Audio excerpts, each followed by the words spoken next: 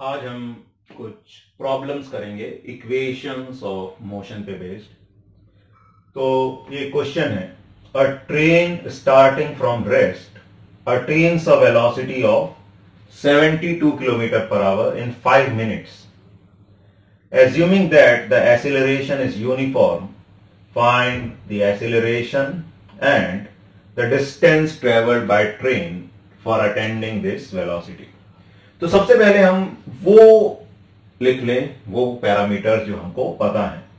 तो क्या रखा है ट्रेन स्टार्टिंग फ्रॉम रेस्ट तो रेस्ट का मतलब क्या है कि इनिशियल वेलोसिटी यू क्या हो गया? ज़ीरो कितनी वेलोसिटी अटेन की उसने? तो जो फाइनल वेलोसिटी है it is 72 kilometre per hour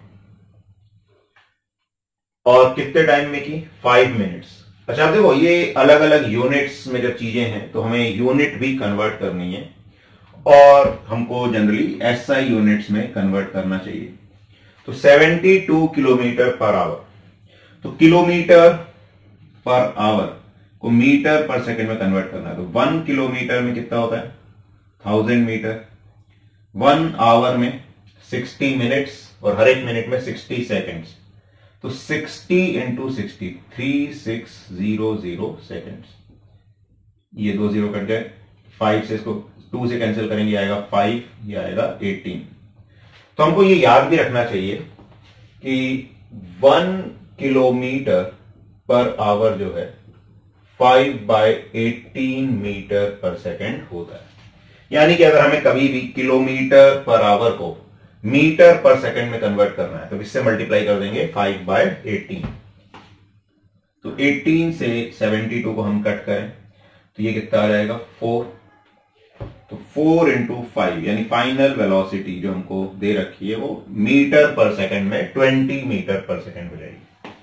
time time कितना लगा? फाइव मिनट्स अच्छा फाइव मिनट्स को सेकंड में करना है तो वन मिनट में सिक्सटी सेकंड्स होते हैं।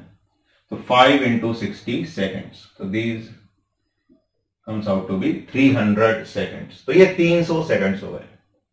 अब कह रहे हैं एसिलरेशन यूनिफॉर्म है।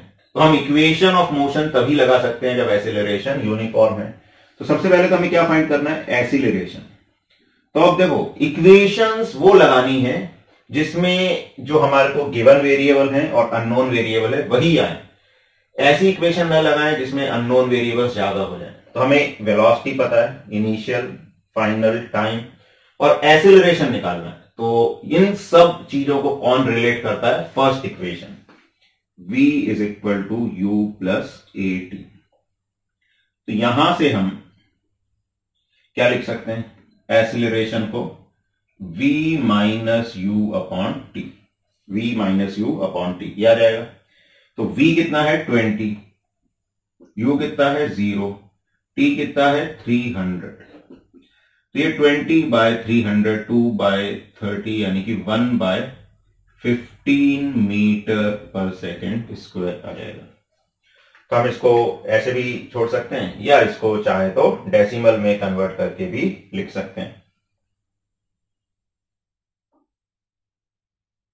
ठीक है? Now second is distance travelled for attaining this velocity तो डिस्टेंस अब हमें v पता है, u पता है, a भी पता चल गया तो हम थर्ड इक्वेशन भी यूज़ कर सकते हैं। या हमें टाइम भी पता है तो हम सेकंड इक्वेशन भी यूज़ कर सकते हैं। सेकंड अगर यूज़ करें तो s is equal to u t plus half a t square तो u ज़ीरो है तो u इंटू टी वाली टर्म तो ज़ीरो ही गई। प्लस हाफ़ a कितना आया? वन बाय फिफ्टीन और t square t square t कितना था? 300 300 का स्क्वायर यानी कि 300 हंड्रेड इंटू थ्री तो 15 इंटू टू थर्टी होता है। तो 30 से 300 को कैंसिल करोगे तो बचेगा 10 तो ये जो डिस्टेंस ट्रेवल्ड है 300 हंड्रेड इंटू टेन यानी कि 3000 मीटर या 3000 मीटर को हम थ्री किलोमीटर भी बोल सकते हैं। तो जो डिस्टेंस ट्रेवल्ड है, वो होगा थ्री किलोमीटर और जो फाइनल वेलोसिटी है सॉरी एसिलरेशन है, वो कितना आ जाएगा? One by fifteen metre per second square ठीक है? नेक्स्ट क्वेश्चन है a car accelerates uniformly from 18 kilometre per hour to 36 kilometre per hour in 5 second calculate the acceleration and the distance covered by the car in that time तो इसमें भी हमें given क्या है? वो लिख लें। तो हम ऐसे भी लिख सकते हैं गिवन तो गिवन क्या क्या है?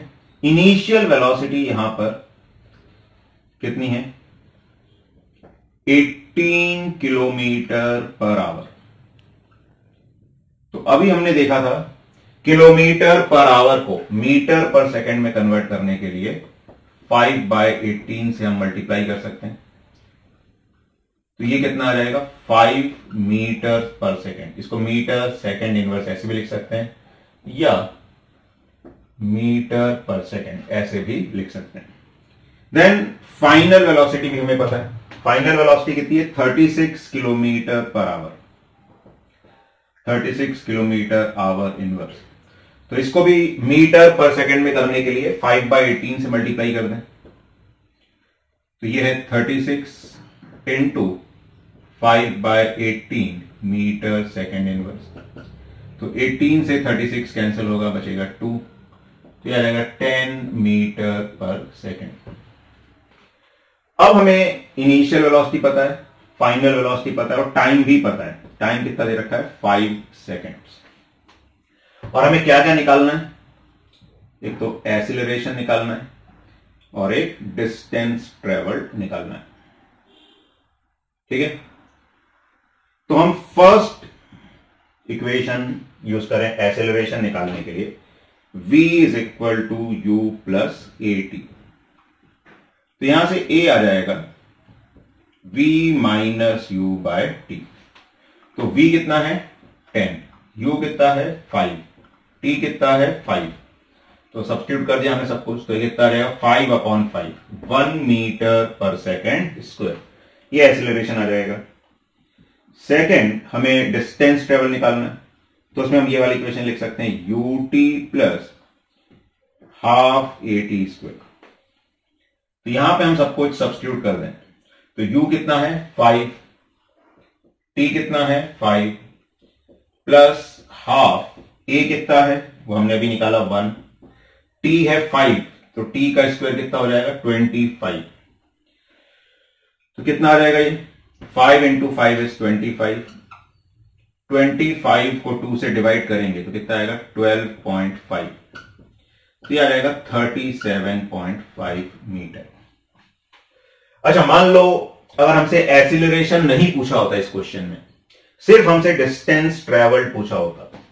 तो फिर हम ऐसा भी कर सकते थे कि हम एसिलरेशन जो है, ये हमने निकाल लिया। टाइम की हमको ज़रूरत नहीं है तो हम थर्ड इक्वेशन भी यूज़ कर सकते थे। V square is equal to u square plus two a s ठीक है?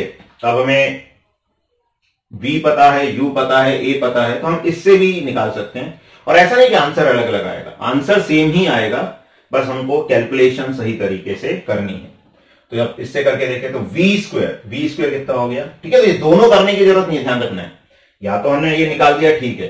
बाई चांस हमको ये नहीं लगाना है, ये वाली इक्वेशन लगानी है तो हम इससे भी कर सकते हैं। तो वी स्क्वायर कितना आ गया? Hundred u square is twenty five a कितना आया था? एसिलेशन आया था वन और एस हमें निकालना है। तो 25 को इधर लाएँगे तो 100 minus twenty is equal to two s तो 75 is equal to two s और s is equal to 75 five by two that is 37.5 metre तो ऐसे भी हम डिस्टेंस ट्रेवल्ड निकाल सकते हैं यूजिंग थर्ड इक्वेशन ठीक है? नेक्स्ट क्वेश्चन है. A train is travelling at a speed of 90 kilometre per hour brakes are applied so as to produce a uniform acceleration of minus 0.5 metre per second square तो देखो acceleration negative है मतलब retardation हो रहा है। Find how far the train will go before it is brought to rest तो यहाँ पे भी हमें गिवन क्या क्या है? क्या गिवन है? इनिशियल स्पीड कितनी है? 90 किलोमीटर आवर इनवर्स या पर आवर। इसको मीटर पर सेकंड में करने के लिए किससे मल्टीप्लाई करना है? Five by eighteen eighteen into five ninety तो कितना आ गया ये? Twenty five metre per second acceleration कितना दे रखा है? Minus zero point five metre per second square ये गिवन है और फाइंड क्या करना है? क्या फाइंड करना है? डिस्टेंस फाइंड करनी है। ठीक है? और एक और चीज़ हमें पता है, देखो क्या दे रखा है कि finally it is brought to rest तो हमें जो एक और चीज़ पता है, वो ये पता है कि फाइनल जो वेलोसिटी है, वो ज़ीरो हो गई।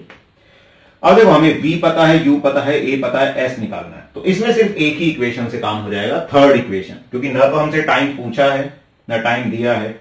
तो हम ये वाली इक्वेशन यूज़ कर लें। V square is equal to u square plus two a s तो वी स्क्वायर कितना हो गया? Zero u square twenty five का स्क्वायर ट्वेंटी फाइव का स्क्वायर होता है six twenty five plus two acceleration minus zero point five into s इसको solve करें तो यह आ जाएगा माइनस को इधर लेके आए, भाई टर्म तो पॉजिटिव हो जाएगी. Two into zero point five is one तो बचेगा सिर्फ़ एस ये वाली टर्म पूरी माइनस एस आएगी, इधर लाएँगे तो एस हो जाएगी। तो s is equal to six twenty five metre. तो ये आंसर आ जाएगा कि कितना डिस्टेंस वो ट्रेन ट्रेवल करेगी रेस्ट पर आने से पहले, ठीक है? नेक्स्ट क्वेश्चन है।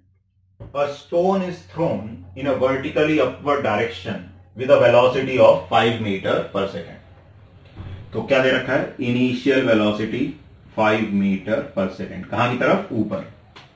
If the acceleration of the stone during its motion is 10 metre per second square in the downward direction तो देखो वेलोसिटी जो है ऊपर की डायरेक्शन में है। तो अगर हम वेलोसिटी को पॉजिटिव मान रहे हैं, यानी हमने ऊपर की डायरेक्शन को क्या मान लिया? पॉजिटिव अब एसिलरेशन कह रहे हैं नीचे की डायरेक्शन में है। तो एसिलरेशन को हमें क्या लिखना पड़ेगा? नेगेटिव कितना लिखना पड़ेगा? माइनस टेन ठीक है? क्योंकि डायरेक्शन का इसमें विशेष ध्यान रखना है क्वेश्चंस में। ना पूछा गया what will be the height attained by the stone height पूछिए तो हाइट बेसिकली डिस्टेंस या डिस्प्लेसमेंट हो गया। And how much time will it take to reach there अब देखो, थोड़ा सा इसमें दिमाग भी लगाना है कि हमने किसी चीज़ को ऊपर फेंका। तो हाइट पूछी कितनी हाइट तक वो जाएगी? तो जितनी हाइट तक वो जाएगी तो जहाँ तक जाएगी वहाँ पर वेलोसिटी क्या होगी? ज़ीरो देखो, कोई भी ऑब्जेक्ट मूव किस कारण से करता है? वेलोसिटी के कारण. तो हमने एक ऑब्जेक्ट को ऊपर फेंका. तो वो ऊपर क्यों जा रहा है? क्योंकि वेलोसिटी ऊपर है. उसका एसिलेशन तो नीचे है, क्योंकि अर्थ उसको नीचे खींच रही है.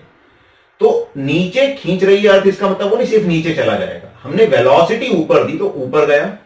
लेकिन अर्थ नीचे खींच रही है तो उसकी वेलोसिटी क्या होगी? कम. रिटार्डेशन होगा. और धीरे धीरे कम होते होते क्या हो जाएगी? ज़ीरो जहाँ पर ज़ीरो होगी, वहाँ से फिर वो नीचे आना शुरू हो जाएगा।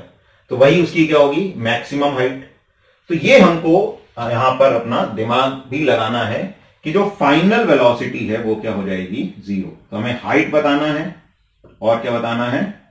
टाइम भी बताना है।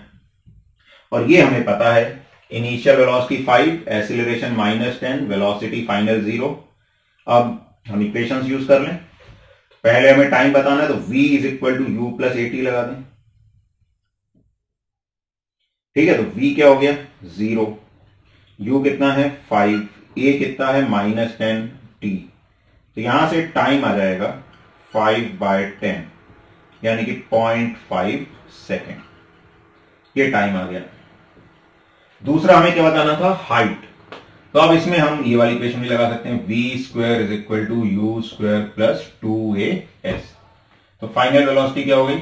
Zero initial velocity five five का square twenty five acceleration ten minus ten तो two into minus ten is minus twenty और हाइट डिस्प्लेसमेंट किसके बराबर हो जाएगा? हाइट के बराबर.